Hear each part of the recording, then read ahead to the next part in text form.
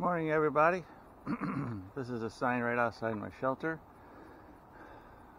Connecticut State Line. It's 26.8 miles. So in a couple days, I've been.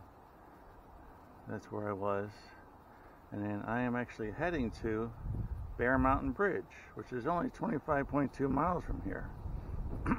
so I decided that Misty can pick me up at the top of Bear Mountain, which has one of the best views and everywhere. You can actually see the New York City skyline.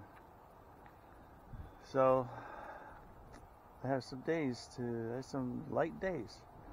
This here is the RPH shelter, the Ralph Ralph's Peak Hiker's Cabin.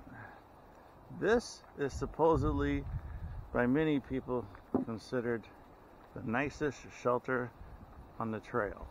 Over there, there's a well. Here we have this old house made out of bricks, but an old house.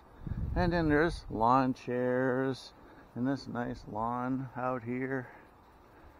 And someone's house is right there. Picnic tables. There's all my stuff out there. And then inside, there are no bears, so they just hang their bear bags right here.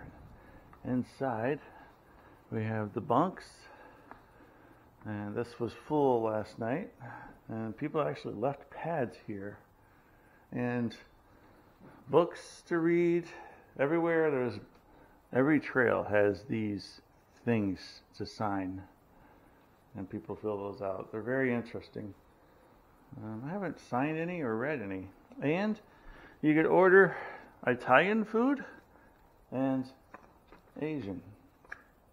The pizza place was closed yesterday. I was so excited about pizza because I heard about it. So I ended up ordering this awesome seafood dinner. And so this is the shelter.